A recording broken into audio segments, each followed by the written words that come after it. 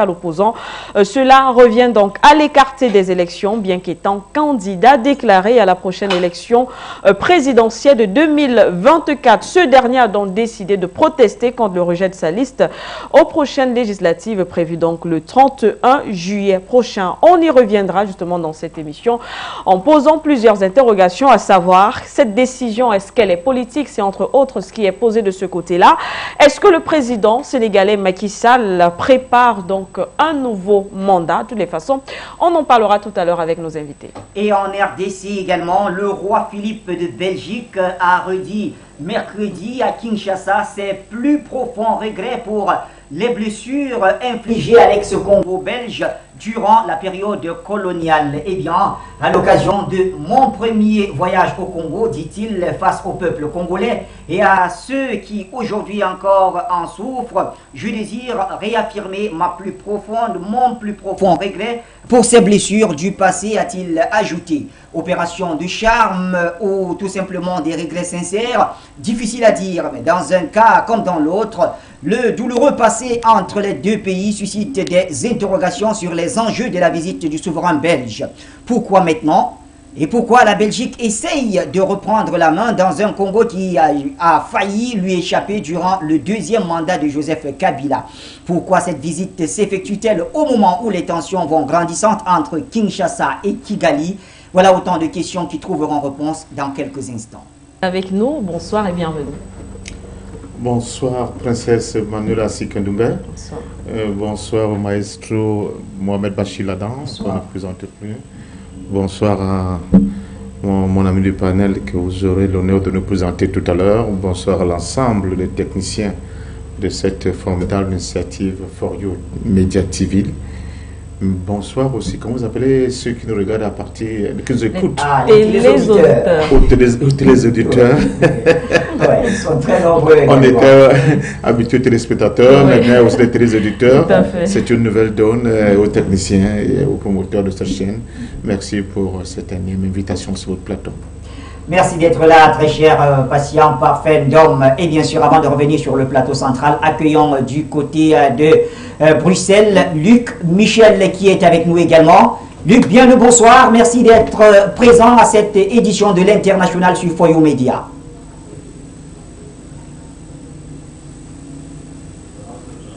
Luc, bonsoir, vous m'écoutez? Oui, bonsoir Bachir, bonsoir Manuela bien entendu à ton plateau. C'est un plaisir de te retrouver. Merci d'être là, très cher Luc, euh, pour euh, cette autre édition. Edmond Kuati est aussi avec nous dans le cadre de cette édition. Bonsoir et bienvenue, monsieur. Bonsoir Manuela, bonsoir Bassir, bonsoir Patient, bonsoir à tous ceux qui. Bonsoir les téléspectateurs et les téléauditeurs. Merci pour l'invitation. C'est nous qui vous remercions. Merci beaucoup. Eh bien, messieurs, pour vous permettre un très très bon confort assis, on va rapidement vous conduire dans les kiosques comme euh, c'est le cas toutes les semaines. Et aujourd'hui encore, c'est avec Bégoudé Madone pour le round-up de la presse. Bonjour le Cameroun, bonjour l'Afrique, bonjour le monde. Commençons cette revue des unes du côté du Cameroun avec le journal Le Politics qui a titré cette semaine à sa une Salutations au panel. Visitons ensemble ce qui a fait les choux gras durant la semaine. Au Burundi, une journée de coopération Burundi-Union européenne a été organisée le 10 juin 2022. En une de Iwaku, la voix du Burundi, on peut lire Burundi, UE, l'odeur d'une coopération indéfectible. Toujours avec Iwaku, on parle d'accomplissement cette fois-ci de la mission admise les troupes burundaises appelées à être performantes. Celles-ci sont investies d'une mission de transition en Somalie. Le chef de l'état-major, Prime Nyongabo, a encouragé ses troupes à aider le peuple somalien à retrouver la paix et la sécurité. En Côte d'Ivoire, la Banque mondiale accorde un prêt de plus de 123 milliards de francs CFA, ceci dans le cadre du programme basé sur les résultats pour le renforcement du système de filets sociaux, selon Abidjan.net. Au Cameroun, l'hebdomadaire du groupe Temps Super, Politics s'est intéressé à la sécurité sociale collaboration. Caisse nationale des prévoyances sociales et ministère de la Justice. Aussi, à la session plénière 2022 ainsi qu'à la somme de 500 milliards de francs CFA qu'a débloqué le Cameroun à l'Union africaine dans le cadre des luttes contre l'immigration clandestine en Afrique.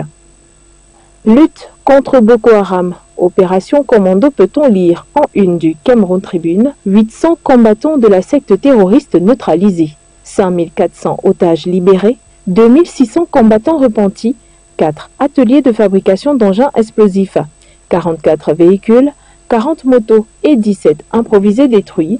Un premier bilan éloquent des trois mois d'opération spéciale de la force multinationale mixte a été présenté mardi à Mora à l'occasion d'une visite du commandant, le général Abdul Khalifa Ibrahim.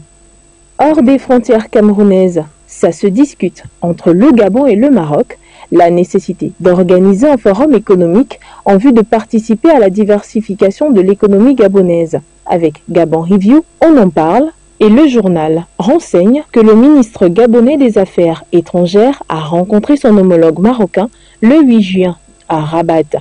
Michael Moussa Adamo et Nasser Bourita ont discuté de la consolidation des relations déjà au beau fixe entre le Gabon et le Maroc. Les deux parties ambitionnent en effet de renforcer leur coopération sectorielle par une contribution plus prononcée du secteur privé en tant que catalyseur de leur partenariat économique. Toujours avec Gabon Review, fraude douanière à haute de 8,3 milliards de francs CFA, l'auteur de l'enquête jeté en prison, déclare Gabon Review. Dans l'actualité tchadienne, deux ex-opposants ont été reçus par le président du Conseil militaire de transition. Aluida Info renseigne qu'il s'agit de Dadi Guerro, ex-membre de l'Union des forces de la résistance UFR, et Mahamad Moussa Souleyman, ex-trésorier du Front pour l'alternance et la concorde au Tchad, FACT. Des discussions rythmées par le processus de réconciliation nationale. Hors des frontières africaines, le Figaro, lui, qui parle de l'Israël et de l'Iran, déclare que la guerre secrète bat son plein entre les deux pays. En France, toujours avec le Figaro, on parle de législatif 2022. Un premier tour incertain sous la menace d'une abstention massive. Voilà qui referme le round-up des unes de ce samedi. Rendez-vous la semaine prochaine. Bonne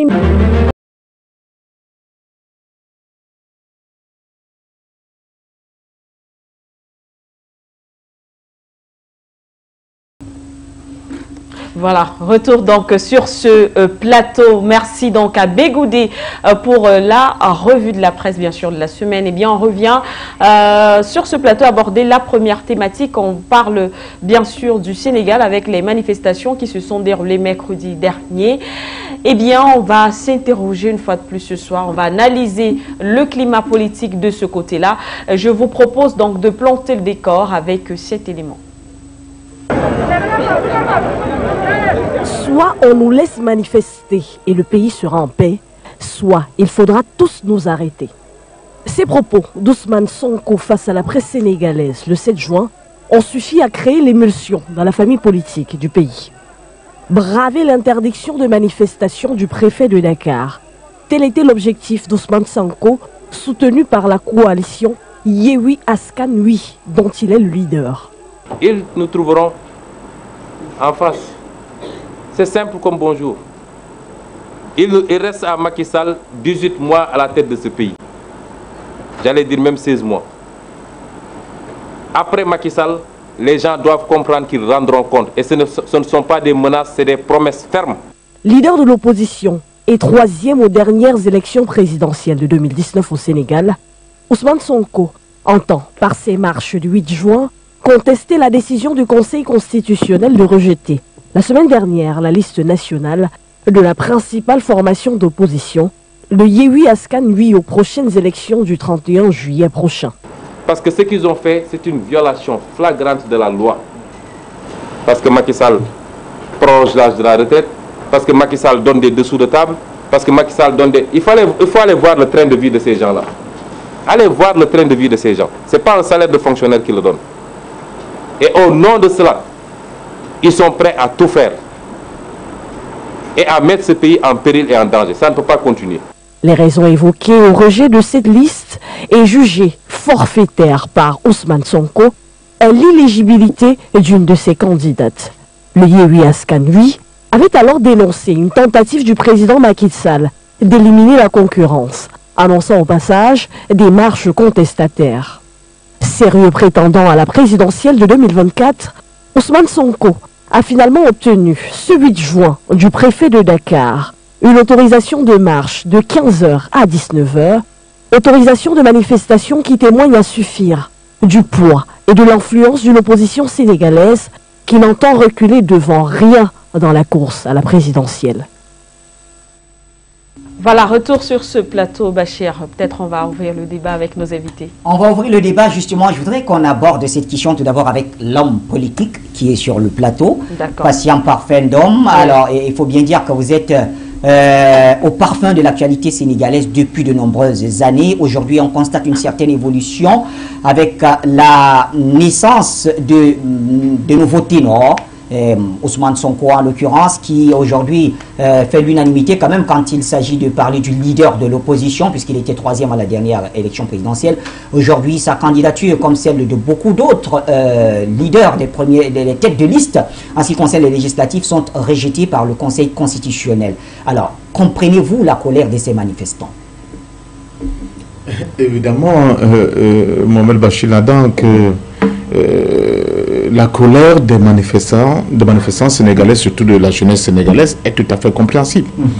Et c'est l'attitude du gouvernement sénégalais que je continue de, questionner. Je m'interroge sur euh, l'agenda, j'allais dire, euh, le cap que veut prendre le pouvoir sénégalais actuel en rejetant comme ça les listes de l'opposition le Conseil constitutionnel, comme nous le savons tous, dont, euh, dont les décisions sont insusceptibles de recours. À partir de ce moment-là, de facto, le pouvoir, par le biais de, de, de, cet allié qui est devenu le Conseil constitutionnel, essaie de, de mettre en difficulté justement l'organisation dans le calme, la paix, la sérénité des prochaines consultations électorales au niveau du Sénégal. Mm-hmm. Alors, euh, euh, la prétention ou bien le, le, le soupçon qui pèse lourdement sur le président Macky Sall, à savoir celui de tenter de, modifier la Constitution pour s'arroger un troisième mandat, devient de plus en plus plus ou moins probable. Pourquoi? Pour deux raisons précises. Premièrement, nous avons suivi tout ça Malabo au détour euh, d'une question qui a été posée. Le président Macky Sall essayait de justifier justement le troisième mandat.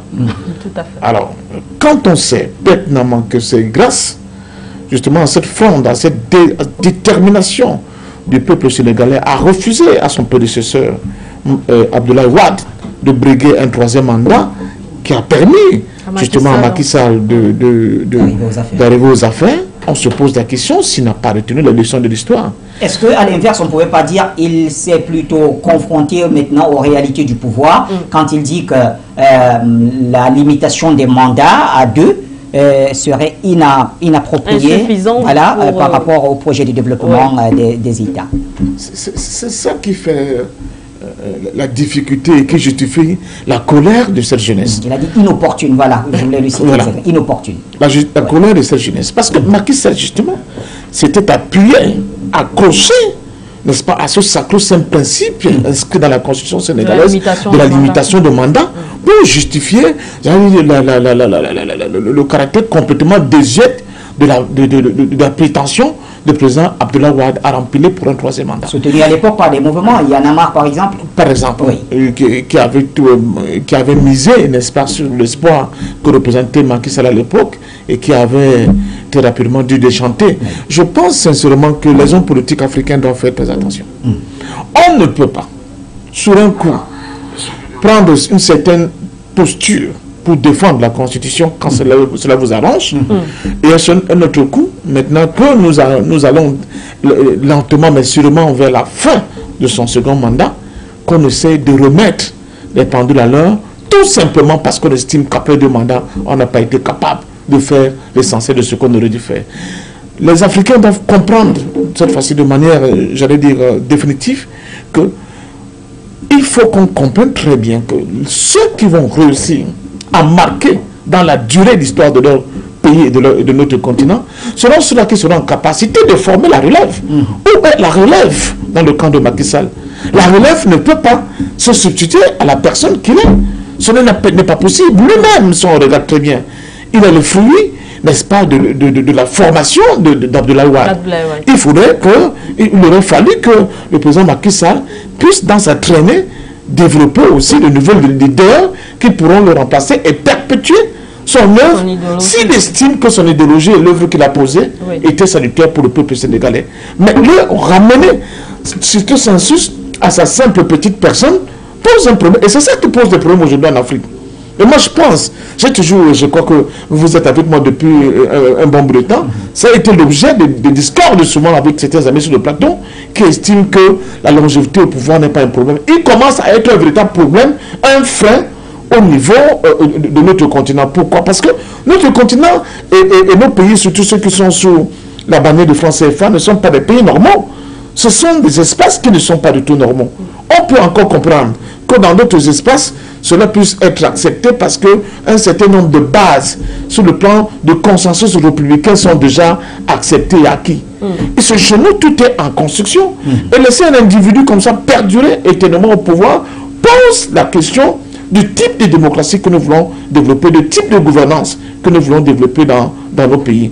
Et je crois que là, le Macky Sall, que j'ai apprécié, à Sochi, malgré les, retournements de veste constatés après dans la, dans la presse française, et le Macky Sall, là maintenant, qui commence à utiliser des petits galops de sel pour essayer de manipuler l'opinion auprès de ceux aussi souvent n'essaye pas de manipuler aussi euh, la masse populaire euh, justement à ce niveau-là? Parce qu'il faut également aussi souvent qu'on rentre dans le fond euh, les raisons ont été données on jette toujours directement le, discrédit justement sur les sorties du gouvernement lorsque mhm. le gouvernement explique que le dossier de candidature n'est pas complet, n'est pas... Voilà. C'est pas le gouvernement qui l'explique, hein, du moins, le, conseil constitutionnel. voilà, ne répond pas justement. Mhm. Et souvent, on le sait, les membres de l'opposition saisissent souvent l'occasion pour manipuler justement la masse populaire. Non, je, peux bien comprendre. C'est aussi, une, Je peux bien comprendre. Je crois que tout à l'heure, j'ai écouté Ousmane Sonko. Euh, je pense qu'il faut que soit un peu modéré dans ses déclarations. Parce que, comme je le dis toujours, la politique, c'est deux, deux piliers. Mm. Il y a la force qui est représentée par le lion et la ruse qui est représentée par le renard. Vous ne pouvez pas comme ça, vous, de, tout de go, alors que vous prétendez, n'est-ce pas, accéder mm. aux affaires, commencer penser de manière aussi violente mm. certains compartiments, j'avais dit franches, non, non moins importants du pouvoir. C'est le cas, par exemple, du Conseil constitutionnel. Il a tenu des déclarations, à mon sens, qu'il aurait pu édulcorer, les adoucir, mm. mais pas le dire de manière, j'allais dire, brutale, mm. comme il essaie de le dire. Ça risque de braquer, n'est-ce pas, euh, euh, certaines franges du pouvoir et de, la population sénégalaise. Mais maintenant, nous le savons pertinemment. Nous sommes, selon le vocable de nos propres dirigeants du moment, des démocraties en construction.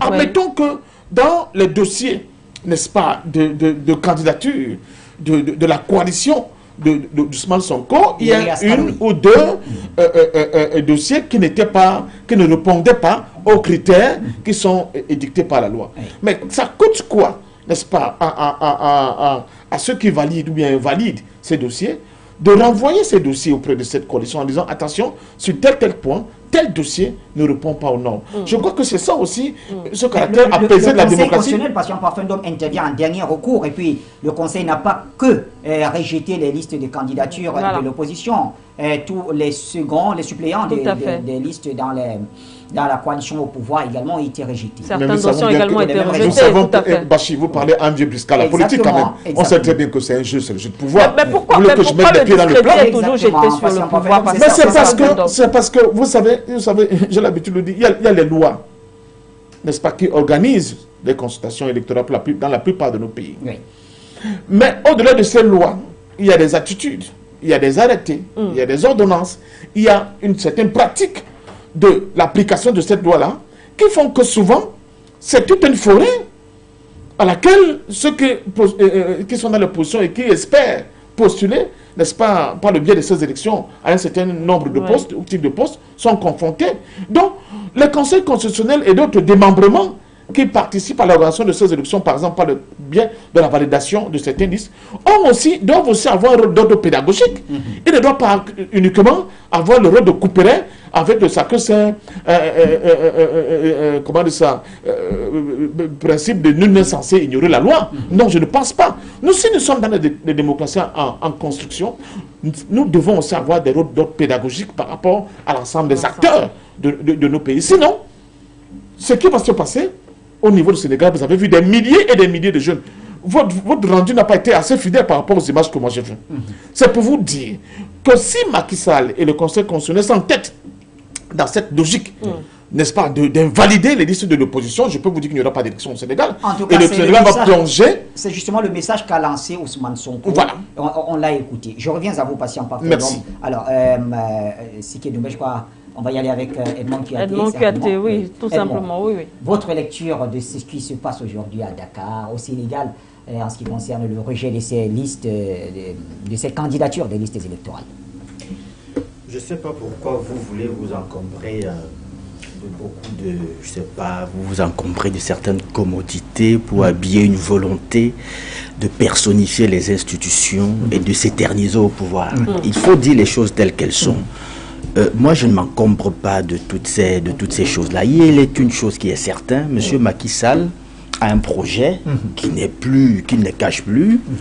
euh, qui devient désormais ouvert. Vous savez, je ne suis pas particulièrement très fan de la démocratie à l'africaine. Ah, Non, je ne suis pas très fan de démocratie à l'africaine. À l'africaine. Je ne suis pas très fan de la je démocratie. pas qu'il y avait une démocratie à l'africaine. Mais il y a une démocratie à l'africaine. Vous savez, je, je vais vous dire une chose. C'est le problème que nous avons en Afrique. C'est le problème que nous avons. Il va falloir qu'on corrige ces problèmes si nous voulons avancer. C'est que nous sommes champions des importations. On importe tout, et même les idéologies, et même les concepts. Mais on ne les interroge pas, on ne les questionne pas dans le fond. Vous savez, euh, le, la, la, démocratie, le concept de démocratie, c'est quoi? Je l'ai toujours dit.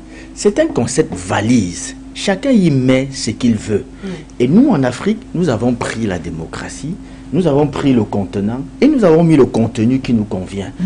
Parce que dites-moi que M. Ouattara n'est pas un démocrate, vous dites ça à quelqu'un d'autre, il va vous couper la tête. Mm. M. Ouattara, c'est un démocrate. À l'africaine, bien sûr. OK?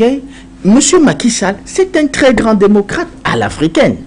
Donc, moi, je dis donc que, personnellement, je ne suis pas très fan de la démocratie à l'africaine, mais seulement ce que j'ai dit c'est que même si on n'aime pas le football, on ne doit pas accepter des tacles réguliers dans le football.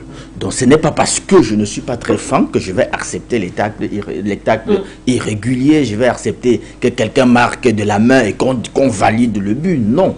Si, les, si malgré, n'est-ce pas, tout le bricole, toute l'embrouillamini, n'est-ce pas, tout le vernissage qu'on veut bien donner à l'aspect de notre démocratie, s'il y a quelque chose qui est consensuel, si nous sommes d'accord sur quelque chose, c'est-à-dire si nous avons arrêté un certain nombre de règles, de principes, comme devant diriger le jeu que nous appelons le jeu politique, le jeu démocratique, il faudrait que nous ayons assez de lucidité assez de grandeur d'esprit, assez même d'ouverture d'esprit pour pouvoir respecter ces règles-là à minima. Je vais dire que s'il est établi que la Constitution, et c'est ça qui a permis à M. Macky Sall, justement, d'accéder au pouvoir, c'était le principe de la limitation de mandat. Et euh, les Sénégalais, pas seulement lui, Macky Sall, pas seulement bah, les citoyens, mais les Sénégalais, beaucoup y ont même laissé la vie. Parce que chaque fois que ces gens-là, ils arrivent au pouvoir, ils oublient tous les dégâts qu'il y a eu sur le chemin pour les porter au pouvoir. Ils oublient ça très facilement. Ils, deviennent, ils ont l'impression qu'ils deviennent tout puissants, potentes, qu'ils sont, n'est-ce pas, les hommes, euh, n'est-ce pas, choisis par Dieu. Des, ils sont même des démurges et qu'ils peuvent faire ce qu'ils veulent. Non, il faudrait qu'ils sachent que le, quand ils combattaient Maki, euh, euh, euh beaucoup de Sénégalais ont eu justement beaucoup de, je de préjudices. Il y en a qui ont perdu de leurs biens, il y en a qui ont perdu de leur vie, il y en a qui ont perdu de leur emploi, il y en a qui ont beaucoup perdu. Et aujourd'hui, qu'il veuille rebeloter, c'est-à-dire lui-même ignorer ce qui lui a permis d'arriver au pouvoir. Non mais quand même, c'est sadique, c'est cynique. Ce n'est pas acceptable ça du tout. Donc moi, c'est pour ça que j'ai dit, ne trouvez pas des habillages. Je, refuse ça. C'est malsain. C'est malsain. S'il est un principe qui est établi, non mais je veux dire, nous sommes quatre ou cinq dans cette salle si vous voulez, ou quatre dans cette salle. Si nous nous accordons sur un principe et que nous disions que c'est comme ça, c'est-à-dire qu'on dit que, bon, à chaque fois que euh, peut-être patient va prendre la parole, qu'on éteigne la lumière. Si nous sommes d'accord là-dessus, vraiment, il ne faudrait pas que quand ça tourne, ça arrive à son niveau, qu'ils disent que non, les sorciers de mon village ont dit que s'il y a le noir, je vais mourir. Mhm. Non, tu dois mourir parce que tu l'as accepté et beaucoup ont subi cela. Comprenez un peu? Mhm. Donc, je, refuse ces habillages, ces petits maquillages-là qu'on veut faire. Maki a un projet de troisième mandat. Mhm. Parce que il ne s'encombre plus de beaucoup de confort intellectuel pour, euh, n'est-ce pas, expliquer, euh, je vais dire, le caractère nocif des, trois, des, limitations de mandat. Mm. Euh, vraiment, non. Dites à Maki, s'il nous écoute là, il faut lui dire que le principe n'est pas de tout faire, mais de faire ce qu'on peut, mm-hmm. dans la limite de temps imparti. Mm. Si c'est 10 ans, fais ce que tu peux en 10 ans. Pourquoi? Parce que le tout faire n'est pas possible dans la vie d'une nation. Le tout faire n'est pas possible. Les États-Unis sont en construction, si je prends cela comme référentiel démocratique, les États-Unis sont en construction au moins depuis 200, 300 ans. Mais tout n'est pas fait aux États-Unis. Qu'on ait réveillé Nixon, Roosevelt, Truman, euh, je vais euh, Reagan, Bush, Bush 1, Bush 2, Carter, Clinton, qu'on aille les ah, réveiller pour leur dire de venir continuer à construire l'Amérique, mais qu'on arrête ces idées tout, tout, euh, qu'on arrête ça. Et puis, si on veut faire des choses, son co, grand frère patient, mais il n'a pas été suffisamment dur. Moi, j'aurais été plus caverneux que ça. Parce que lorsque vous avez la mission ô combien fondamental et salutaire de juge. C'est-à-dire que vous êtes directement le représentant de Dieu sur terre. Parce que, en fait, le rôle de jugement est dévolu à Dieu, par principe, par mm. essence. Mm. C'est Dieu qui juge. Et donc, lorsqu'on vous donne, n'est-ce pas, cette mission de juge, vous devez au moins à minima vous habiller, n'est-ce pas, euh, je vais dire, des caractéristiques divines être un peu équitable. C'est ce qu'on vous demande. Et donc, le Conseil constitutionnel, juge électoral, hmm. n'est plus dans sa mission lorsqu'il décide de manière irrégulière, de manière aussi légère, d'écarter, n'est-ce pas, un potentiel, je vais dire candidat, un potentiel adversaire sérieux à son patron, Maki. Ils ne sont plus dans leur mission. Et donc, on ne devrait plus choisir les mots pour leur parler, on devrait leur parler avec des mots très durs. Je dis bien très très durs. Donc j'estime que euh, Sonko n'a même pas été un peu dur. Il a parlé normalement. Hmm. Moi, je ne m'emballe pas, euh, je ne suis pas dans l'emballement émotionnel. Non, les juges ne sont plus, euh, le juge constitutionnel n'est plus dans sa mission.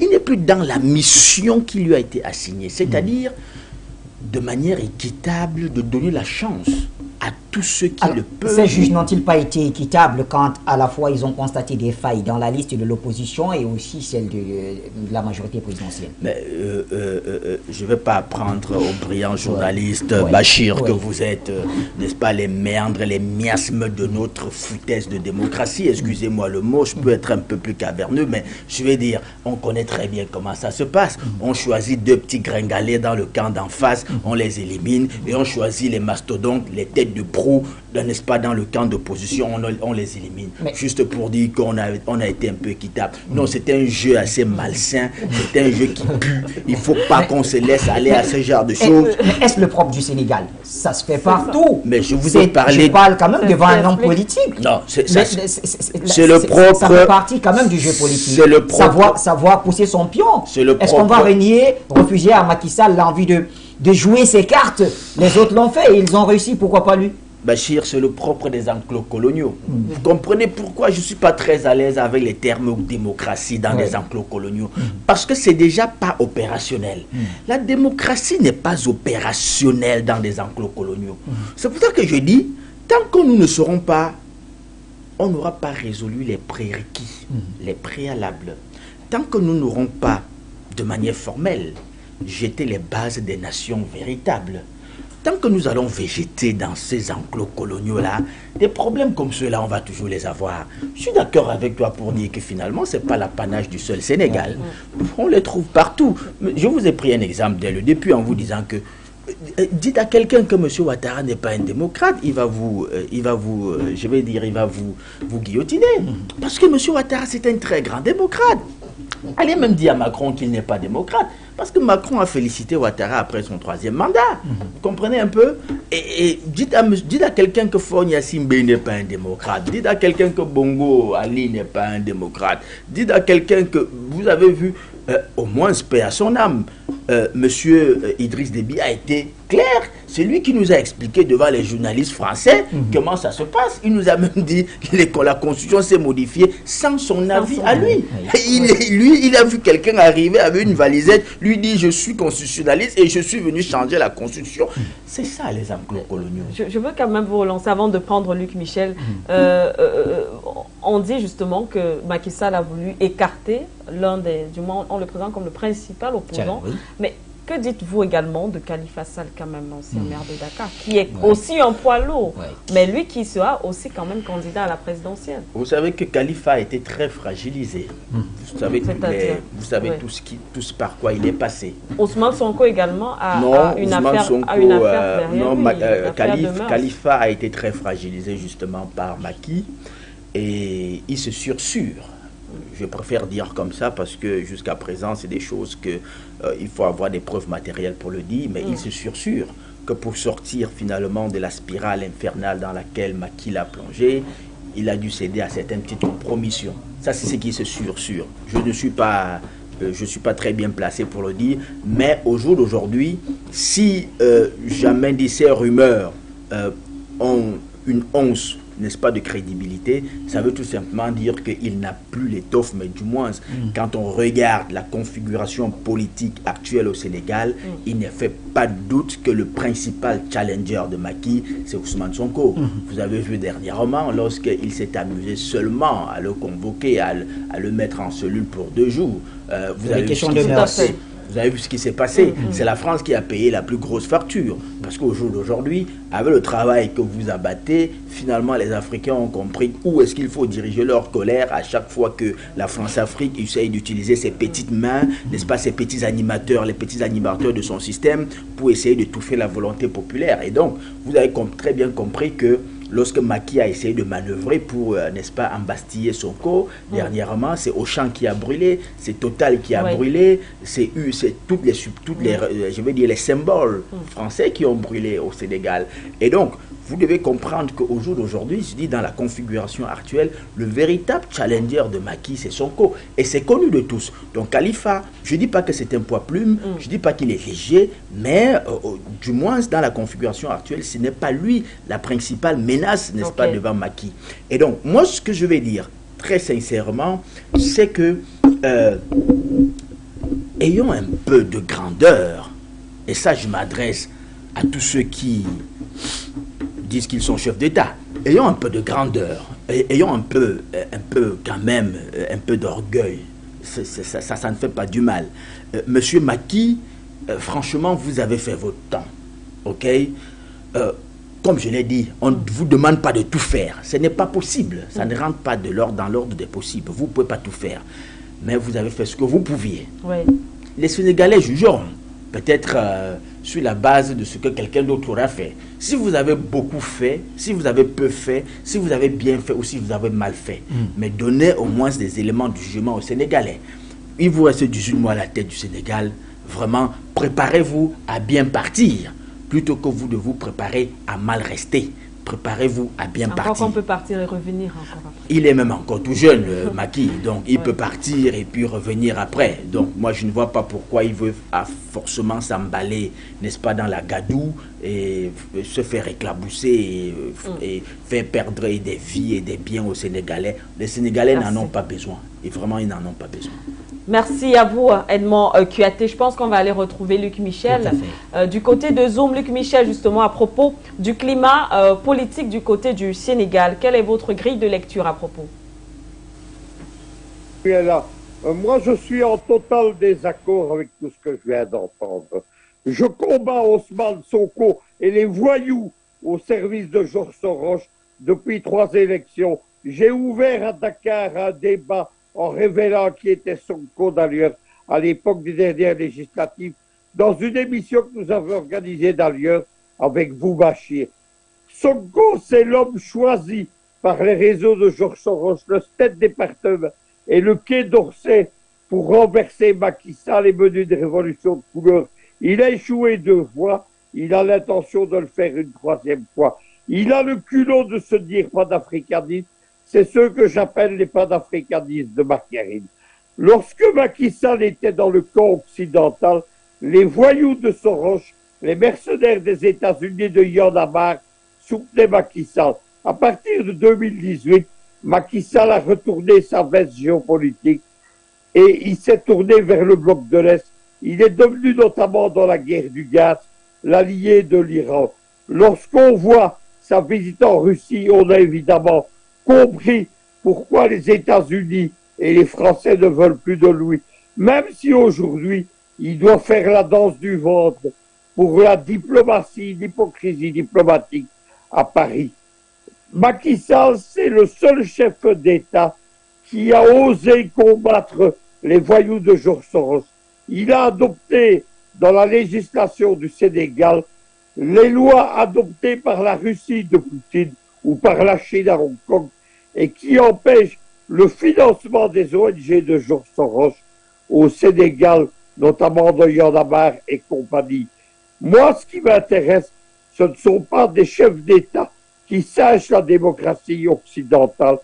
Le fétichisme des constitutions et la règle des deux mandats c'est un agenda typiquement occidentalo-américain. Les deux mandats, c'est tiré de la Constitution américaine. C'est inadapté à la voie africaine vers la démocratie souveraine. Je vous signale simplement qu'il faut être cohérent. Vous avez en ce moment un autre chef d'État, c'est Faustin change Personne ne lui contestera le statut de panafricaniste mais surtout de grands chefs d'État qui émancipent son pays. Eh bien, Faustin Archange Touadéra cherche lui-même à modifier la Constitution pour un troisième mandat. On ne peut pas aller à Malabo soutenir au Biagnema Massogo. On ne peut pas, jadis, soutenir le président Idriss Déby, il donne du temps de son vivant, et d'autre part, parce qu'on n'aime pas Macky Sall, dire que celui-ci n'est pas légitime. Moi, je félicite Macky Sall d'utiliser tous les moyens pour combattre Sonko et les voyous qui se trouvent derrière eux et qui trahissent leur pays au service des États-Unis. Quand je vois l'attitude des équivalents de Sonko en Russie, comment ils trahissent en pleine guerre contre l'Ukraine leur pays, évidemment, je dis que Macky Sall est légitime à agir. Continuez, Monsieur le Président, vous êtes un chef d'État qui fait avancer l'Afrique. Ce que l'Afrique a besoin, ce sont des chefs d'État qui émancipent la géopolitique africaine, pas des chefs d'État qui sachent la démocratie à l'européenne ou encore pire, à l'américaine de Luc Michel. Alors, euh, Luc, vous semblez donc soutenir euh, Macky Sall euh, avec toute la dernière énergie. Sur quoi vous vous basez pour estimer que Ousmane Sonko ne jouerait pas franc jeu avec la population sénégalaise? Mais écoutez, l'appui qu'il a reçu du State Department, l'appui qu'il a reçu du Quai d'Orsay, quand on a organisé le, notamment les incendies des biens français eh bien, c'était des opérations de manipulation du Quai d'Orsay. Hmm. Il faut savoir que les révolutions de couleur, c'est la manipulation de foules en détresse par des spécialistes de la guerre psychologique. Hmm. C'est exactement ce qu'on fait au Sénégal. Dernièrement, toute la position des réseaux de Georges Soros, et venez pas me dire que Georges Soros est un panafricaniste. C'est le grand déstabilisateur de l'Afrique avec Bill Gates Et avec mon Ibrahim, c'est l'homme qui à Paris finance le monde, Afrique, etc. Eh bien, euh, il finance des groupuscules comme Yandama. Il est là dans son rôle puisque c'est le principal allié des vitrines légales de la CIA. Que, justement, Sonko s'explique sur le soutien qu'il reçoit de Yandama et le soutien qu'il reçoit des réseaux de Georges Ce sont des choses occultées en Afrique et maintenant, ces gens ont l'intelligence, contrairement à ce qu'ils faisaient il y a quelques années, ils ont l'intelligence de se dire panafricanisme. Vous savez que les réseaux de Georges Soros financent des panafricanistes de margarine et c'est la même chose du Quai d'Orsay à la suite du récent sommet de Montpellier. Moi, je ne marche pas là-dedans. Je combats pour l'Afrique et j'ai combattu avec Kadhafi à partir de 1985. Je crois que l'indépendance de l'Afrique, c'est combattre le colonialisme occidental et la tête de celui-ci, les États-Unis d'Amérique. Merci, merci à vous, Luc. Michel, euh, patient parfait, donc je reviens vers vous justement. Euh, je vais me baser sur les propos de Luc Michel parce qu'il faut également le dire. Hein, euh, la personne justement d'Ousmane Sonko interroge est-ce qu'il a le profil de ce que recherchent les Sénégalais aujourd'hui qui s'inscrivent, je préfère le préciser quand même, dans la même mouvance que les peuples du Mali ou encore de la République centrafricaine? Parce qu'on sait que lorsque ces populations manifestent, on sait ce qu'ils réclament. Tout à l'heure, Edmond, euh, qui a été rappelé encore ce qui s'était passé, euh, le peuple euh, a manifesté. Voilà, ce sont les, intérêts français qui ont justement subi. Alors, est-ce que Sonko a le profil de ce que le peuple sénégalais aujourd'hui recherche? Et je rappelle, on a eu l'intervention de plusieurs téléspectateurs ici qui ont justement estimé qu'on n'a jamais, par exemple, euh, entendu Sonko s'exprimer sur des questions, euh, on va dire quoi, de souveraineté en Afrique, le franc CFA par exemple, les bases militaires et tout. Donc, ça, c'est ce que les, euh, ce sont des informations que nous avons eues. Alors, justement, la personne de Sonko. D'abord, j'ai écouté avec beaucoup d'attention mmh. Luc Michel, mon ami Luc Michel. Mmh. Euh, si je peux dire quelque chose, c'est qu'il faut que nous fassions très très attention. Oui. Il ne faut pas qu'on donne l'impression qu'en Afrique aujourd'hui, il y a des, des demi-dieux mmh qui possèdent la science infuse et se sont capables, j'allais dire, de, de, de, de, lobotomiser le cerveau des milliers de jeunes Africains qui aspirent à un nouveau paradigme. Oui. Faisons très très attention. Et les espaces et les environnements ne sont pas les mêmes.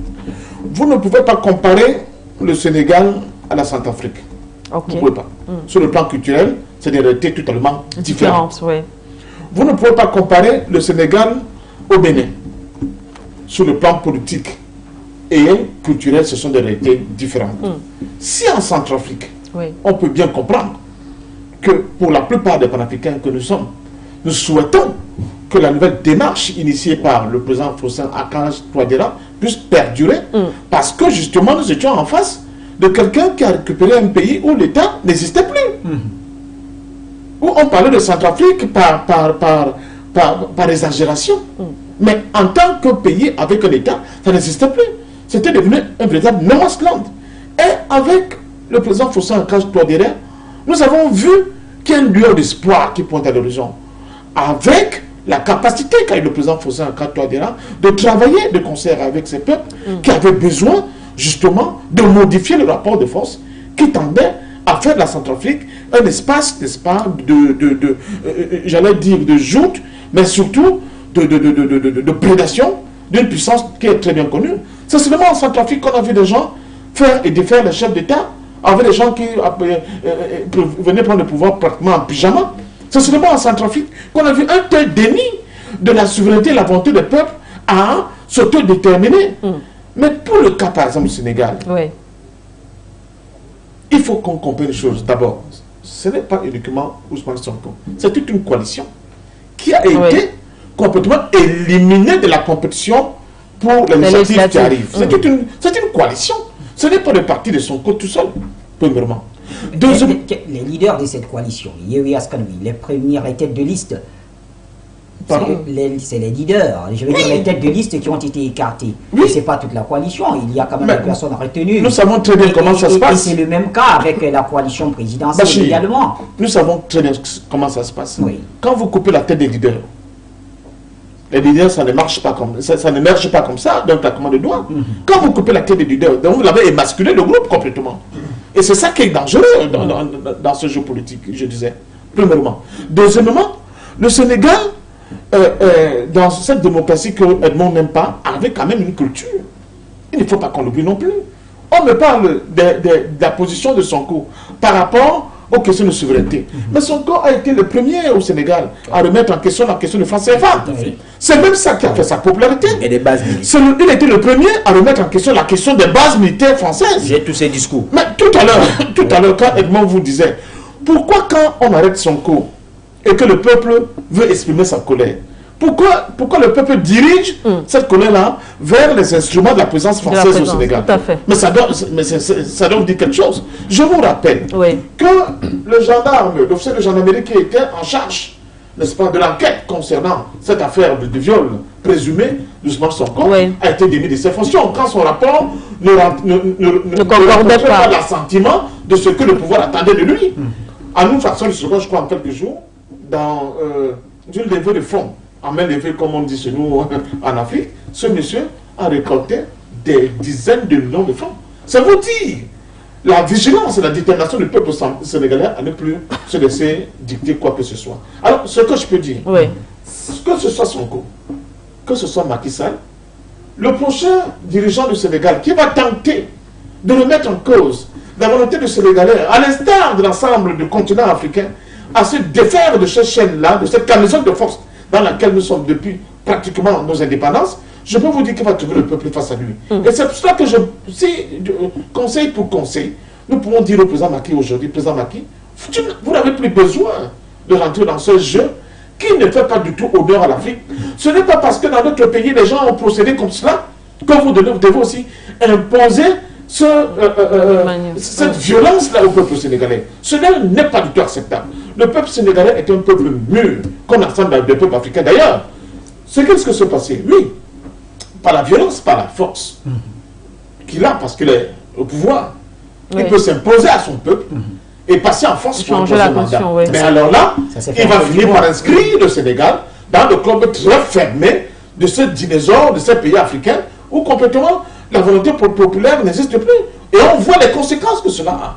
N'est-ce pas? Cela provoque au niveau de la, marche en avant de, cette, euh, de, ce pays et de ce peuple euh, pour, pour, aller vers la, quête de leur souveraineté. Je dis et j'insiste, l'Afrique, nous sommes dans une tendance lourde. C'est comme ça que je qualifie cette tendance africaine. D'autres appellent ça le nouveau vent de l'Est. Mais non, c'est une tendance lourde.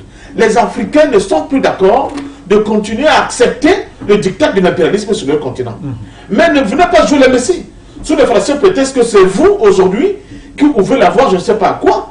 Il faut que pendant deux mandats euh, euh, euh, qui vont s'achever dans 18 mois, que le président Macky Sall soit capable de passer le passer n'est-ce pas, à quelqu'un d'autre qui l'aura formé, qui va continuer son œuvre, c'est tant bien que tout ce que Michel nous dit soit vrai, que euh, comment dire ça, que ce successeur mm. continue dans la même lancée. Mm. Je crois qu'il aurait l'assentiment du peuple sénégalais si ça va dans le sens de la protection des intérêts des Sénégalais.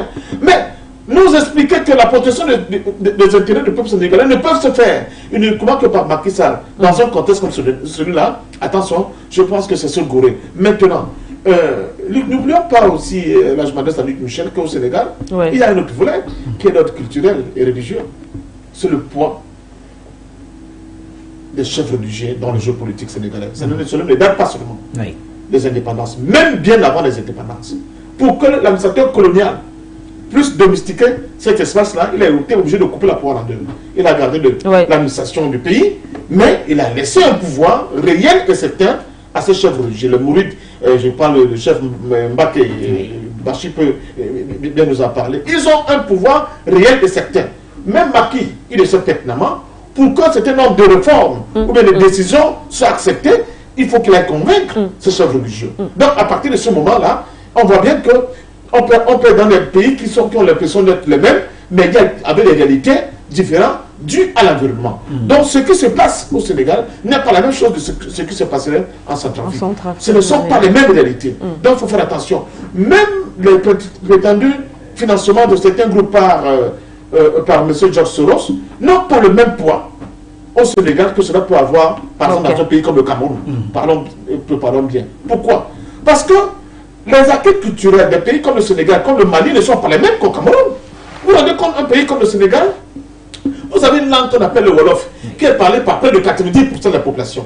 Donc il y a déjà un ciment culturel qui Tout à existe. fait, oui. Même le grand choc Anta Diop tenait compte de ces réalités-là. Donc vous ne pouvez pas nous, nous faire croire aujourd'hui que la seule personne qui possède la science infuse, qui a enfin découvert qu'il faut des réformes dans le sens du panafricanisme qu'est devenu Macky Sall, est la personne sans qui le Sénégal ne peut pas prendre une marche en avant dans le sens de la, réappro- la réappropriation Appropriation. de sa souveraineté. Je ne crois pas du tout à, à, à ce qui n'est pourtant pas le cas en République centrafricaine, où on voit justement que tous ceux qui sont aujourd'hui à l'opposé de, la, de nouveau cap, du nouveau cap que le président Touadéra a pris sont évi- évidemment des hommes liges de l'Occident, et ça, je ne l'explique pas à qui que ce soit sur ce plateau. Vous le- on, on le sait tous pertinemment. Donc, euh, euh, faisons attention. a- avant de vous retirer la parole, Christian Parfait, donc, alors, à vous écouter, je peux me tromper, j'ai l'impression que vous essayez de me dire il est impossible pour quelqu'un de se reconvertir.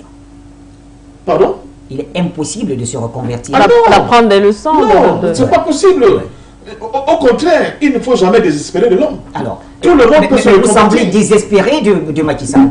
Non, c'est pas ce que je dis. Oui. Je vous ai dit sur ce plateau, à l'entendre mon propos, je crois que j'étais sur le plateau, j'ai fait une débat Oui, oui, sur euh, euh, la sortie de Macky à, So- à Sochi. À déjà prévu de, de demain. Oui. J'avais des, des, des, des- des- des amis de panel qui n'étaient pas tout à fait d'accord avec moi, Oui. mais moi j'ai applaudi la position de Macky de demain. Parce, pourquoi? Parce que j'estime qu'il a valablement représenté l'Afrique L'Afrique. à Sochi et il a donné au monde la possibilité de découvrir le fait que l'Afrique pouvait, n'est-ce pas, pousser à son avantage et donner du sens, n'est-ce pas, au panafricanisme que nous voulons.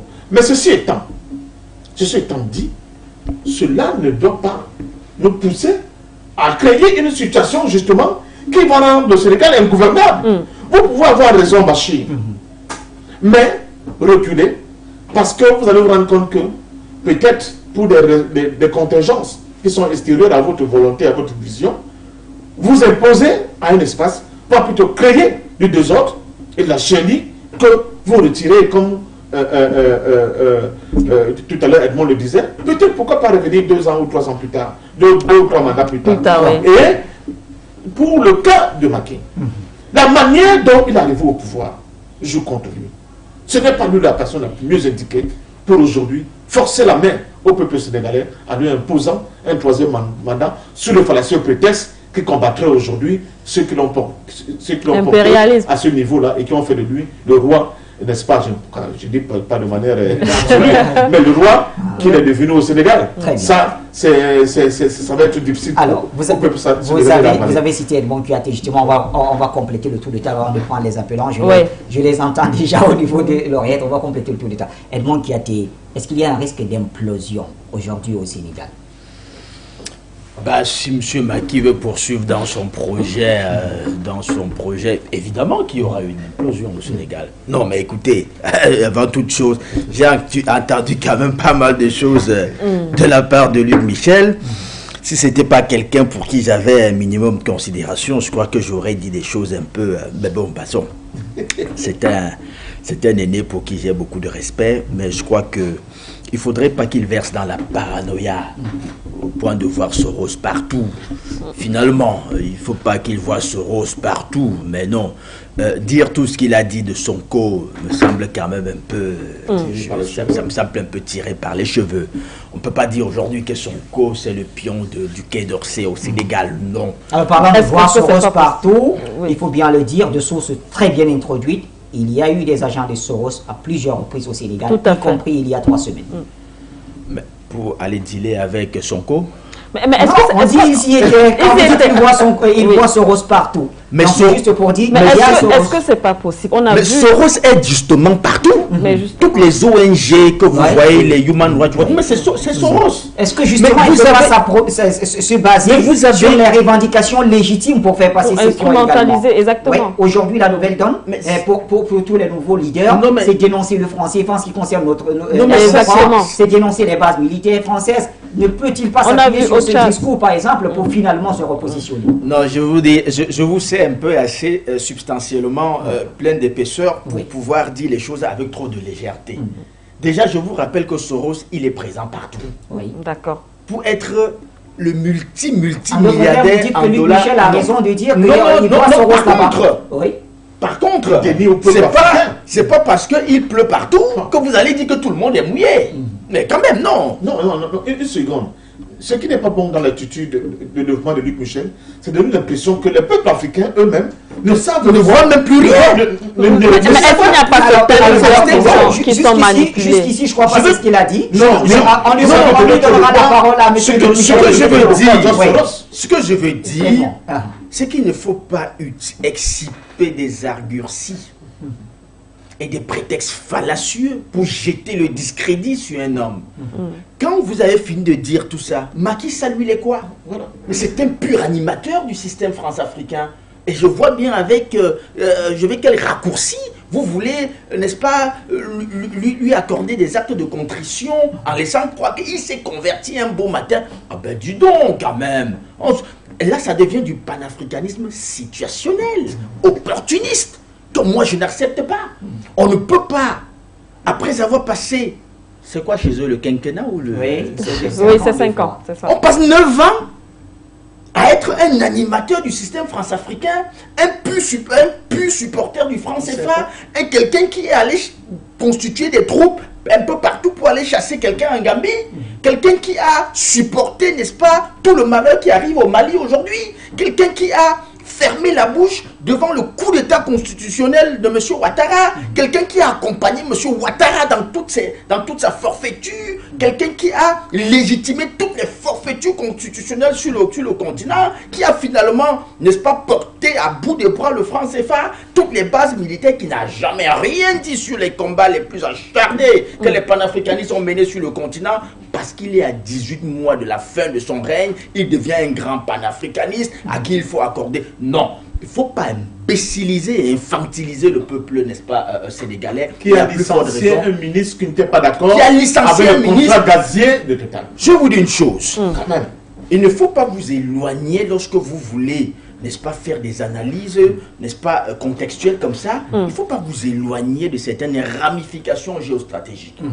Vous savez très bien qu'en ce moment, c'est un peu très difficile en Europe avec la question énergétique. Tout à fait. Et vous savez très bien que l'Union européenne vient de décider de se passer n'est-ce pas, du pétrole russe. Tout à fait. Et il faut, il est question pour chaque pays en, dans l'Union européenne de chercher des alternatives d'approvisionnement. Mm. Et vous savez très bien que la, Total veut mettre la main, et justement tu fais bien de, de, de, souligner cela, lorsque Macky Sall a rejeté toutes les offres, les offres les plus lénifiantes, les plus alléchantes que les exploitants potentiels ont fait au Sénégal pour exploiter le, pétrole, sénégalais, Monsieur Macky Sall a choisi de donner gratos ce pétrole. Quand je dis gratos, c'est entre guillemets, mm. c'était presque gratos comparé à l'offre que les autres faisaient aux Français. Et vous savez très bien que ce débat n'est pas fini aujourd'hui au Sénégal. Ce n'est pas fini ce débat. Parce que jusqu'aujourd'hui au Sénégal, il y a des gens qui continuent, et même dans le gouvernement de Macky, qui continuent de penser que ça a été un mauvais deal, mm. n'est-ce pas, de, donner euh, tout, ce, mm. ce, gros gisement à Total, aux Français. Mm. Et vous savez très bien que la France ne veut pas courir le risque de venir, de voir quelqu'un comme son corps venir s'installer et lui dire non, le contrat, je reviens sur les termes de ce contrat. C'est ce qui se joue aujourd'hui. Il ne faut pas oublier ça. Donc, venir nous faire croire que euh, euh, euh, euh Sonko, c'est le pion de Soros, mm. c'est le pion du Quai d'Orsay. J'ai dit c'est trop facile, c'est un peu tiré par les cheveux. C'est des argurci. Il n'y a rien, il a rien de, de, de, rationnellement argumenté, solidifié là dans ces arguments. Et donc moi je rejette ça en bloc. Et c'est pour ça que je dis, au regard, eu égard à la considération que j'ai pour Luc Michel, je ne veux pas dire plus que ça, je ne veux pas dire certaines choses, mais je dis, il ne faut pas euh, infantiliser, infantiliser. les Africains. Je dois vous dire une chose. Ouais. N'allez pas croire que le peuple africain aujourd'hui n'a pas cette jugeote, cette lucidité, cette capacité rationnelle à pouvoir opérer le distinguo entre celui qui tient un discours vrai et celui qui verse dans la tartufferie pour essayer de récupérer un panafricanisme opportuniste comme essaye de le faire, n'est-ce pas, euh, euh, Euh, euh, Macky Sall. J'ai écouté dire que on ne peut pas avoir soutenir Idriss Déby en son temps et être contre Macky Sall. Ouais, Je lui dirais, on ne peut pas soutenir Macky Sall et être contre Ouattara. Il veut nous dire qu'il est pro Ouattara.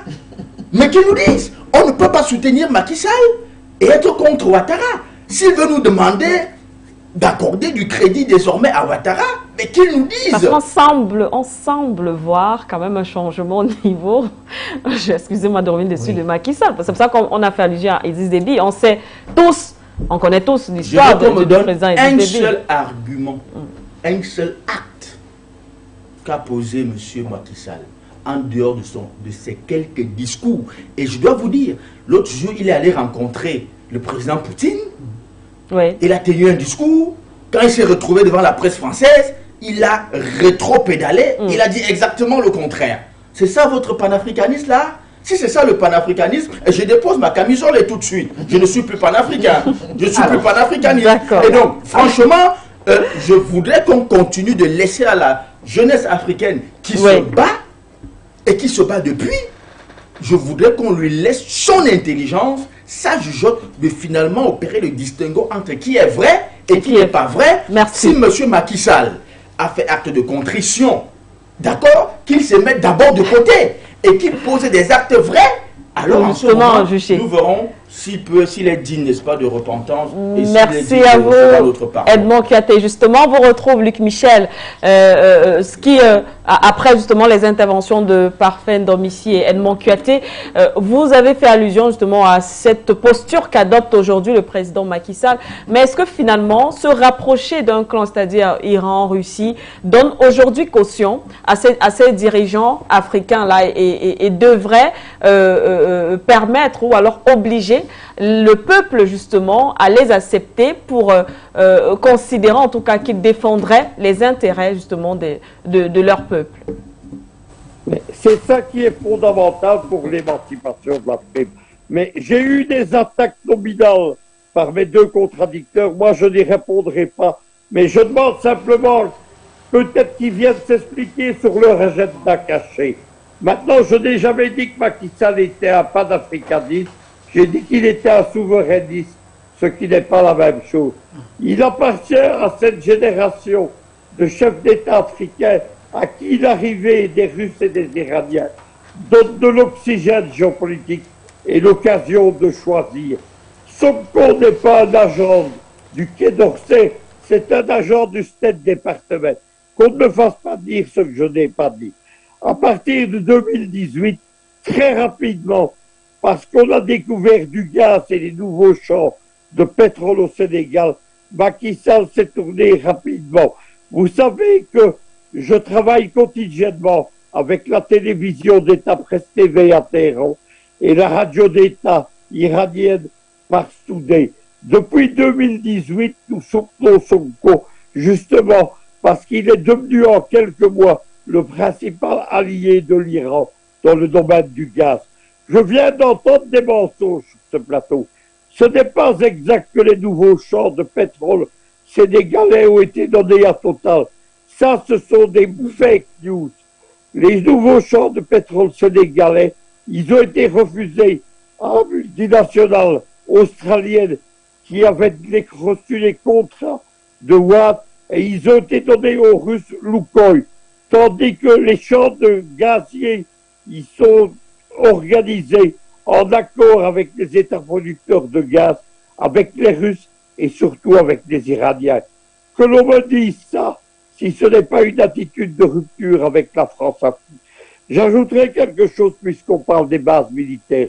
Début 2020, la grande base militaire française près de Dakar, qui était la principale base logistique des Occidentaux, a été remise à l'armée sénégalaise.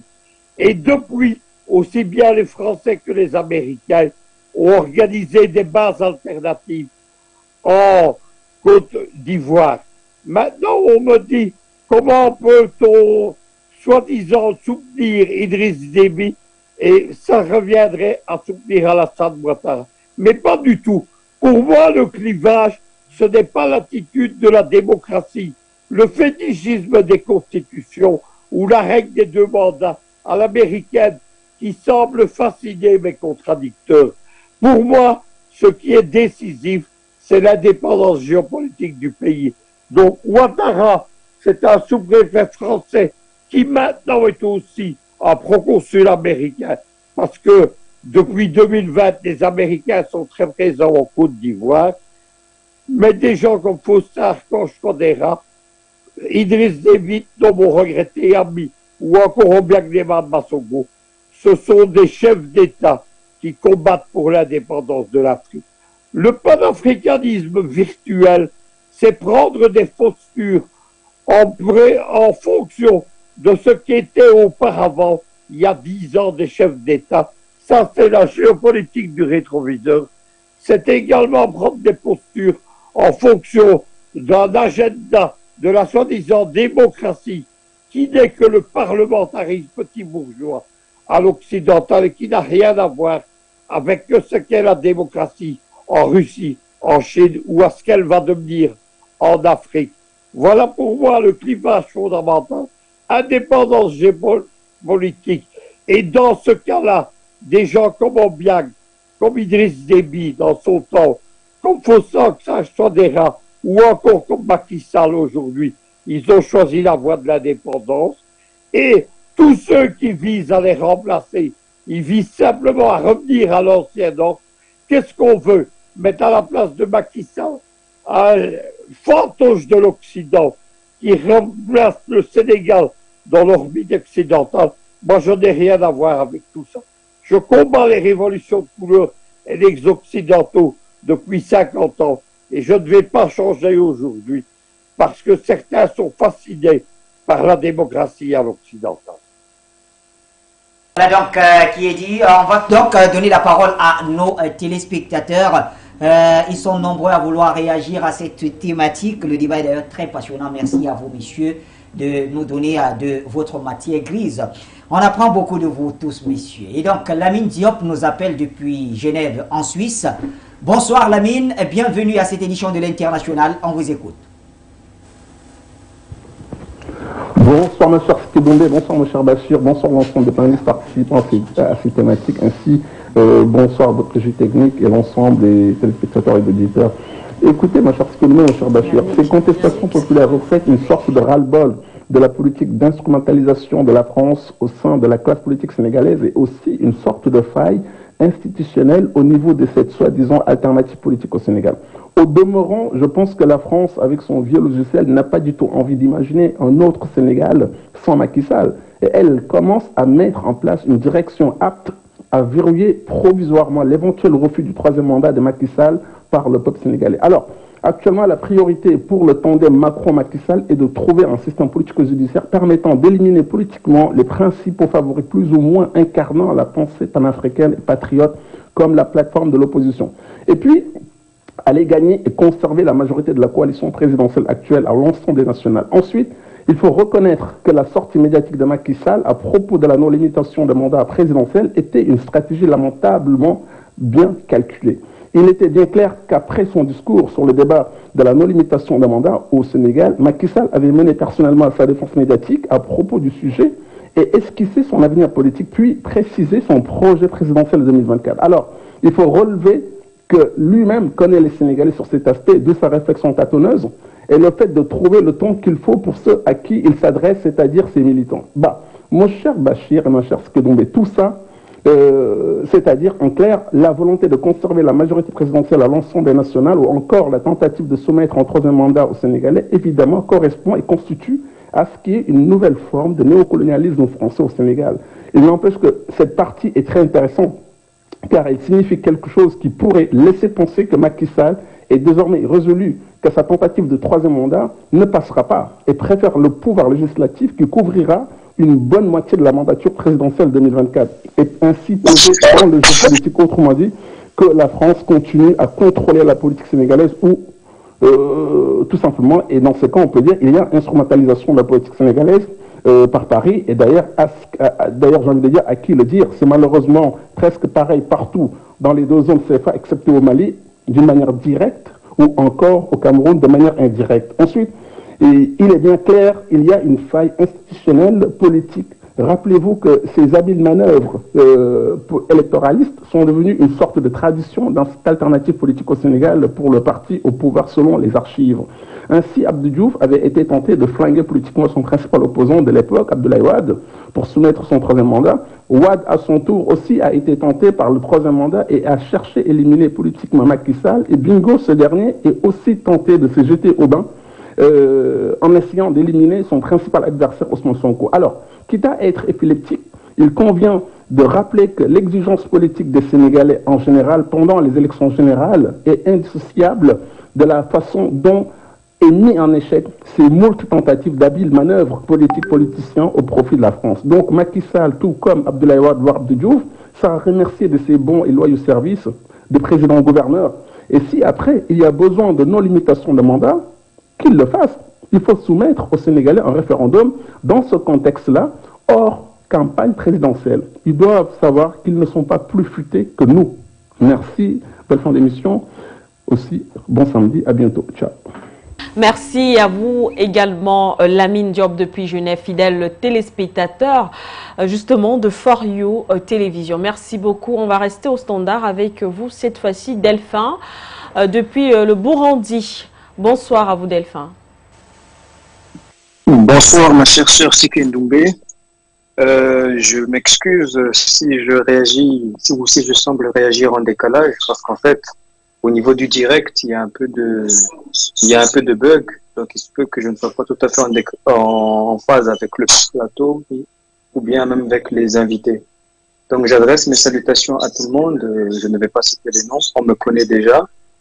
Et je vais aller directement droit au but. Euh, effectivement, euh, ce qui se passe en ce moment du côté du Sénégal me fait penser à ce que j'ai eu souvent à dire quand je prenais la parole aussi bien sur le sur cette nouvelle maison qu'est Foyou Media ou d'autres chaînes euh, qui sont dans le même combat que nous.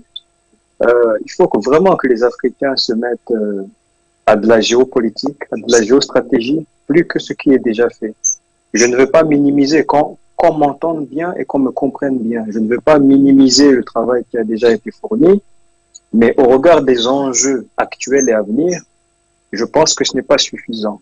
Le Sénégal me fait penser à quelqu'un qui serait pris de vitesse par le développement des nouveaux paradigmes en dehors du continent africain, mais qui ont une incidence directe sur le continent africain. Qu'est-ce que je veux dire par là? Je veux dire par là qu'un chef d'État comme M. Macky Sall euh, s'il avait été beaucoup plus clairvoyant, dirais-je, il aurait déjà pris ses distances avec le nain géopolitique de, euh, qui est à l'Élysée. En ce sens, je prends un parallèle. Mon petit Burundi a justement évité d'être pris de vitesse à partir des années 2010 vis-à-vis d'un autre nain géopolitique qu'est l'État belge ou le Royaume belge, ce qui fait qu'à partir de 2015, nous avons pu nous émanciper complètement de ce nain géopolitique belge. Et vous savez où est le Burundi aujourd'hui. Et les Africains, euh, s'ils étaient, j'allais dire, de meilleurs géostratèges, ils ne confondraient pas effectivement, comme l'a dit mon cher Luc Michel, le fait d'être souverainiste et le fait d'être panafricaniste. Il y a des points communs aux deux situations, mais elles ne sont pas tout à fait identiques. Donc, moi, quelqu'un qui collabore avec euh, euh, la Maison Blanche. Euh, je me méfie de lui parce que nous avons tout près du Burundi quelqu'un qui fait cela parfaitement depuis une, vingtaine d'années. C'est M. Paul Kagame. Paul Kagame se permet de rabrouer, de répondre avec fermeté aux nains géopolitiques de l'Élysée parce qu'il sait très bien qu'il est couvert derrière lui par le patron de l'Élysée qui est euh, la, Maison Blanche et de façon globale l'influence anglo-saxonne aux quatre coins du globe. Donc, euh, moi, par rapport à cette situation, je conseillerais tout simplement aux frères et sœurs sénégalais de faire attention à leur, à leur prise de position, parce que faire tomber quelqu'un qui est allié à la Russie et à l'Iran aujourd'hui peut avoir des conséquences extrêmement graves, d'autant plus que ce même quelqu'un, comme l'a reconnu Monsieur euh, Dom, a valablement représenté l'Afrique il y a peu du côté de Sochi. Donc voilà, j'espère qu'on m'a bien compris, qu'on m'a bien entendu. Je déteste faire de l'ingérence. Je laisse aux Sénégalais, aux Sénégalaises gérer leur pays comme ils l'entendent, mais qu'ils fassent attention parce que leur choix peut avoir une incidence directe, non seulement sur le Sénégal, mais surtout sur le Mali voisin. Donc je vais m'arrêter ici et laisser la parole à d'autres. For you media, allons de l'avant. Voilà, merci, merci à vous également. Delphin, merci d'être passé par ici. Avant peut-être de continuer du côté du standard euh, Passion Parfait, donc peut-être une, euh, une réaction, parce qu'il faut dire que les différentes personnalités ou alors les trajectoires de ces hommes politiques, euh, finalement, sont importants pour l'avenir du Sénégal. Mais, évidemment, ce que je ne pense, je, je euh, j'ai de la peine à saisir mm. euh, dans, tout le développement, les analyses que nous faisons, c'est l'abstraction que nous faisons aujourd'hui de la volonté des peuples. Oui. Vraiment à créer un nouveau paradigme. C'est-à-dire, ça veut dire que nous ne sommes pas suffisamment à l'écoute des peuples. Mm. Ce n'est pas parce que nous avons, pour l'instant encore sur notre continent, des gens qui s'agrippent au pouvoir, mm. alors qu'ils euh, sont complètement à, à contre-pied de la volonté du peuple de de se construire notre avenir, un, nouveau paradigme, que nous pensons que ce peuple-là ne comprend pas les enjeux. C'est extrêmement dangereux de le penser. C'est aussi dangereux de le penser, d'autant plus que nous l'avons si bien vu, par exemple, dans le cas du Mali. Mm. Malgré le, fait que le Sénégal a été parti président dans les sanctions de la CDAO, contre le Mali, vous avez vu l'attitude du peuple sénégalais.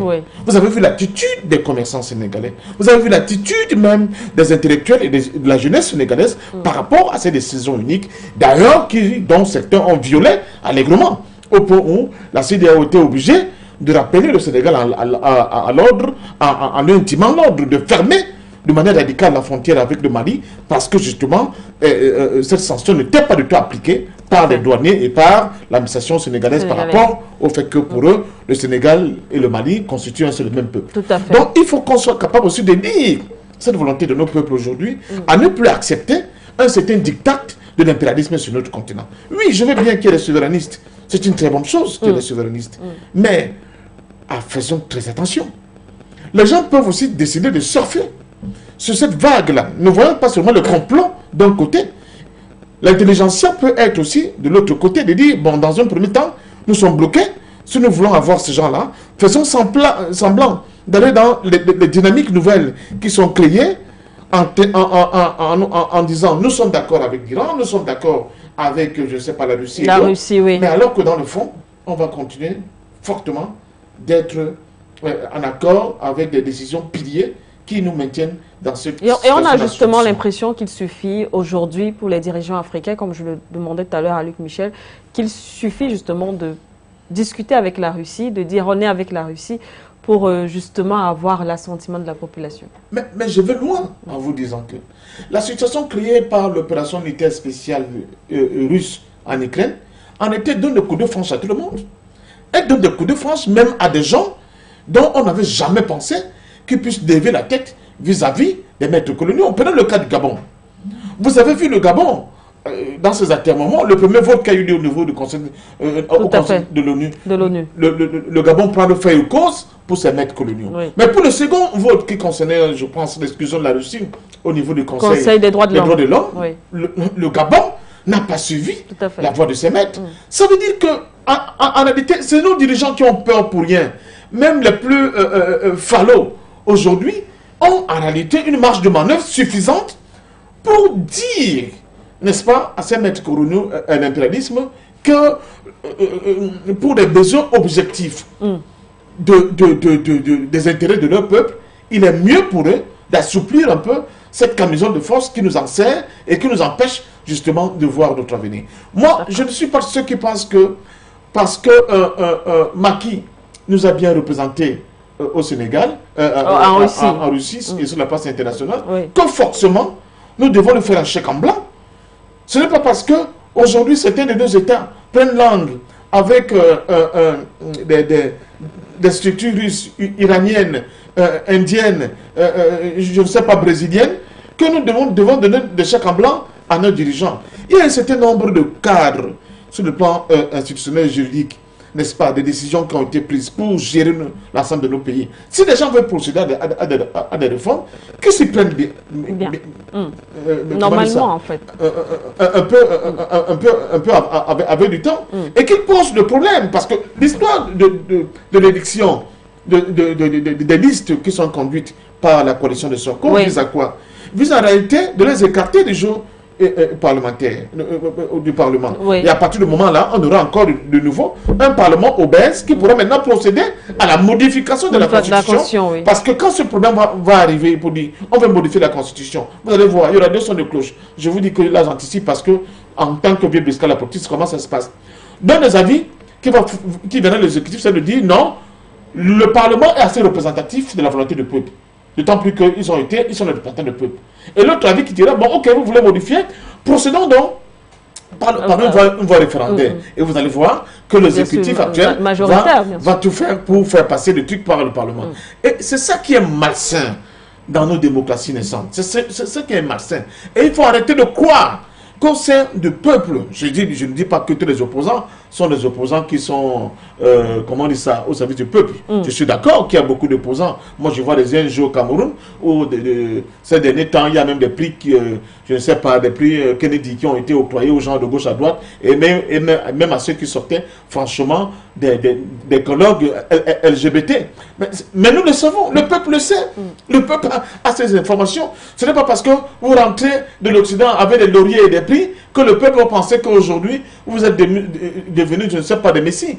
Le peuple sait dans quelle est la direction qu'il faut qu'il prenne. Aujourd'hui, nos pays et la géopolitique mondiale nous l'imposent, nous imposent de créer un nouveau paradigme par la multiplication des partenariats. Et ces partenariats, c'est le gage aujourd'hui d'un monde multipolaire dans lequel tout le monde doit s'inscrire. Mais il y a ce que j'appelle des piliers. Parmi ces piliers, la question des francs CFA. L'attitude du président Macky par rapport aux francs CFA a été des plus regrettables. Tout le monde le sait aujourd'hui. Mm. Et vous ne pouvez pas nous dire, oui, il a compris, mais il a compris. Qu'est-ce qu'il dit donc par rapport aux fonds CFA Qu'est-ce qu'il dit par rapport aux sanctions qui sont prises contre, euh, contre le Mali? La dernière non, la CDAO mm. a été assez évocateur sur cette détermination de ces gens-là de continuer de punir le Mali parce que leur, leur a été euh, euh, envoyé depuis le cabinet de d'où on sait. Donc, c'est seulement son corps si Sonko prend une décision, euh, prend le pouvoir, je ne sais pas, je ne suis pas pro Sonko, mm, mm. je ne l'ai jamais été, je ne suis pas sénégalais, mais si Sonko prend une direction qui va à l'encontre des, des aspirations profondes du peuple sénégalais, qui veut aujourd'hui un Sénégal libre, indépendant et souverain, je peux vous dire qui, qui aura face à lui le véritable mur que constitue ce peuple aujourd'hui. Et pour le président Maki, une fois de plus, avec tout le respect que j'ai pour, pour le président Maki, je pense que s'il veut perpétuer l'œuvre en espérant qu'il ait changé de cap et d'attitude et, et, de direction, qu'il fasse naître au sein de son groupe quelqu'un qui va reprendre le flambeau de salut parce que pour l'instant, la constitution qui est la mère de loi l'empêche complètement de faire autrement. Merci. Quitte à ce que son, son, son, dauphin qui va assumer la relève de, de, de, de sa trajectoire puisse provoquer ce débat au sein, n'est-ce pas, du peuple sénégalais et, essayer de voir dans quelle mesure on pourra modifier cette affaire-là. Mais sinon, Merci tel que c'est présenté, c'est cousu de blanc que le président Macky veut tenter encore un, passage en, forme, en force comme cela propose africain. Merci à vous. Même le président Déby à son temps, je l'ai condamné. Vous ne pouvez pas dire que vous ne voulez pas, mais on vous a imposé et vous a accepté. Je crois que c'était le point noir. Avant de revenir ici sur euh, le plateau pour sortir aussi définitivement avec, euh, avec vous sur cette question,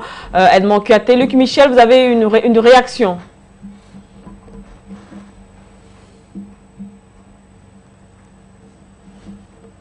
Allô, Luc Michel?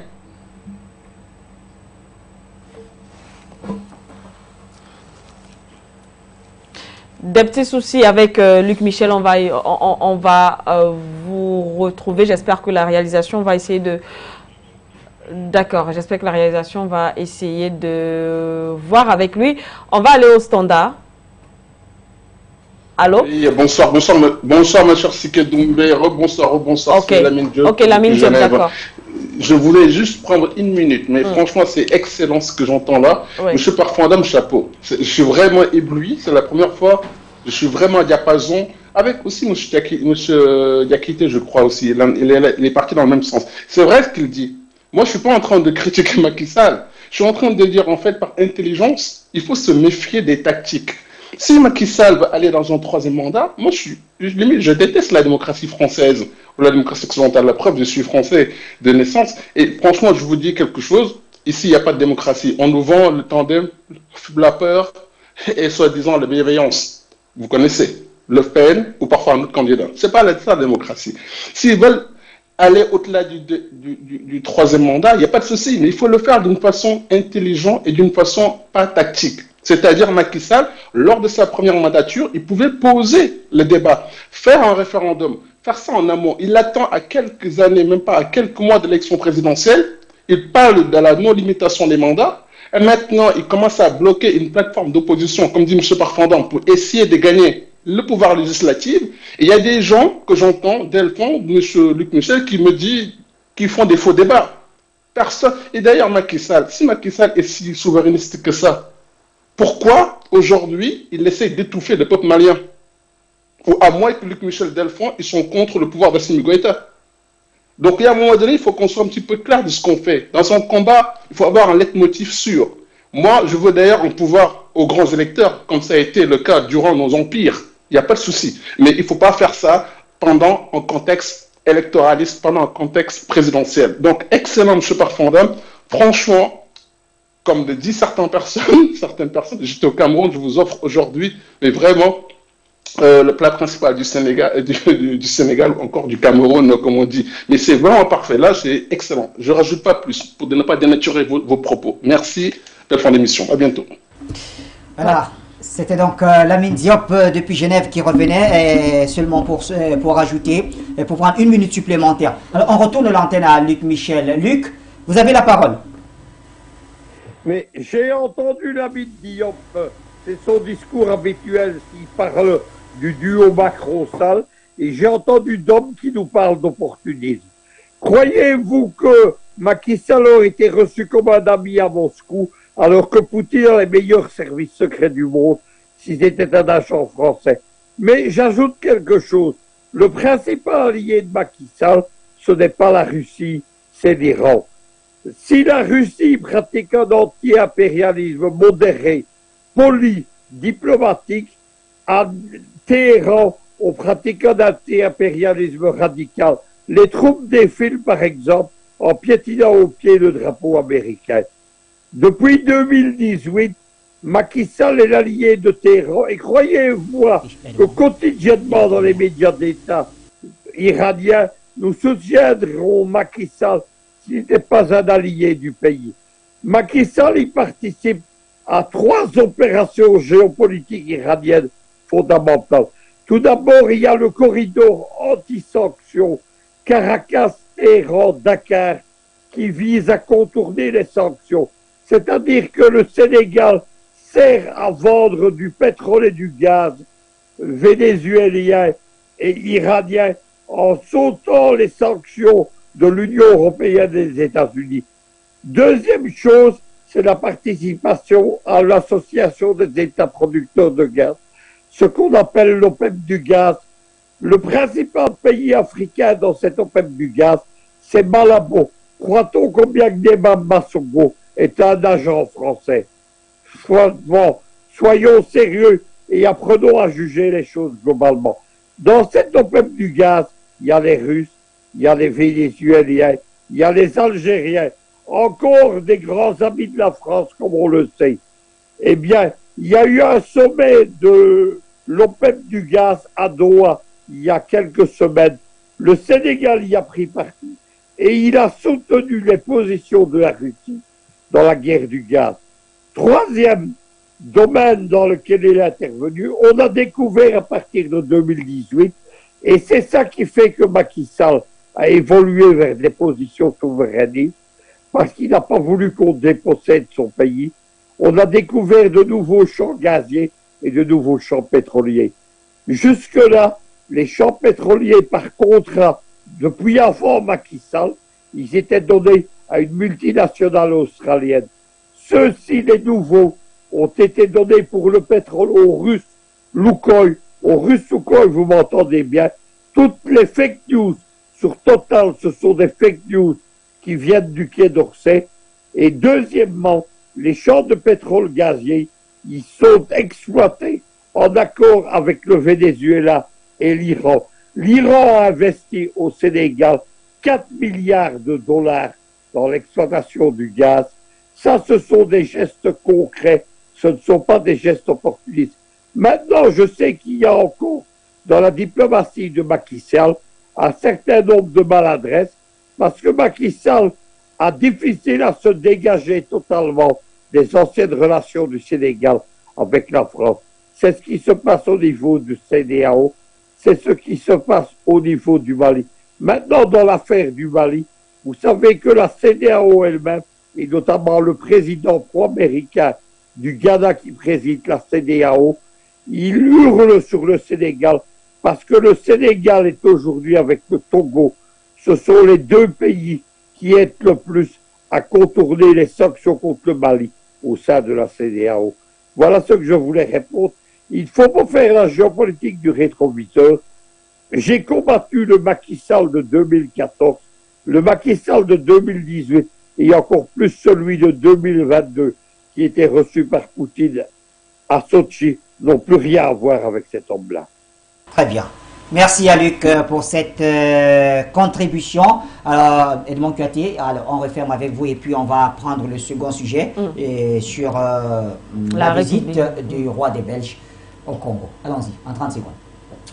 Non, pas en 30 secondes. D'accord. Allons-y, allons-y, allons-y. J'ai entendu trop de choses. Non, ce que je vais dire, c'est quand même qu'il faut rappeler à M. Luc Michel que Macky Sall n'est pas allé voir le président Poutine en tant que président du Sénégal. Hmm. Il est allé, n'est-ce pas, euh, coiffé de sa casquette de président de l'Union africaine. Hmm. Il parlait au nom de l'Afrique, pas au nom du Sénégal. Et donc, il faut très bien qu'il comprenne que M. Poutine euh, était dans les commodités diplomatiques pour le recevoir. Ce n'était pas plus que ça. Donc, il ne faudrait pas qu'on essaye de verser dans l'esbrouf politique. Ça ne marche pas comme ça. Et j'ai dit, la camisole panafricaniste, appelez ça souverainiste, que vous voulez forcer à Macky Sall, ça ne lui sied pas. Mm. Ça ne lui sied pas. Et si à chaque fois que les gens vont poser des actes qui tirent l'Afrique vers le bas, et qu'après, pour opérer des forfaitures constitutionnelles. Mm. On va, n'est-ce pas, leur trouver des camisoles souverainistes panafricanistes. Eh bien, c'est bien mal parti pour l'Afrique. Hein. On n'est même pas encore sorti de l'auberge. Je vous dis, ce monsieur a 9 ans. il essaie de nous dire que le, pétrole euh, euh, sénégalais n'a pas été donné aux Français. Le ministre sénégalais qui a démissionné, il nous a dit quoi? Il a démissionné pourquoi? Pourquoi est-ce qu'on veut? Il faut qu'on arrête avec, n'est-ce pas, le bluff et l'esbrouf politique en Afrique. Hmm. Ça ne marche pas. En tout cas, pas quand moi je suis là. Si vous voulez faire euh, un peu... Faites ça quand moi je ne suis pas là. J'ai dit le ministre sénégalais qui a démissionné. C'est Macky Sall qui a ressuscité Alstom. Alors qu'Alstom était en train de fermer les portes, déposer le bilan. C'est lui qui a donné le TER. Un TER dont les Sénégalais n'en avaient pas besoin. Hmm. Mais il a fallu qu'on réveille Aston qui était sur le point de fermer les portes en lui donnant un TER qui a pris beaucoup, de centaines de milliards aux Sénégalais. Est-ce qu'on avait besoin d'un TER de 32 km passé en parfum d'homme? Vous voulez qu'on parle de tout? C'est Macky Sall, le, le, tout premier président africain, à prendre tout un ministre, à prendre tous les ministres pour aller faire, n'est-ce pas, un conseil de ministres en France. C'est Macky Sall. Euh, après, on va dire que c'est Sonko qui est le pion de Georges Soros. C'est Macky Sall qui nous a rappelé que non, vraiment, il ne faut pas en vouloir aux Français. C'était nos amis. Nous, les Sénégalais, on ne doit rien avoir contre les Français parce que durant, n'est-ce pas, euh, euh, comment, la, guerre, ils nous donnaient des, desserts. C'est ça, c'est ça, c'est Macky Sall. C'est Macky Sall. Et Macky Sall, je vous dis très bien, une, ce sont des petites mains de la France-Afrique. Ce sont les animateurs du système. Lui, ils étaient deux. En fait, ils sont toujours deux. Lui et Ouattara. Voilà les deux qui nous ont combattus contre le franc CFA. Pendant que nous on dénonçait le franc CFA, voilà les deux qui nous ont dit que c'est la plus grosse merveille qui puisse arriver à l'Afrique.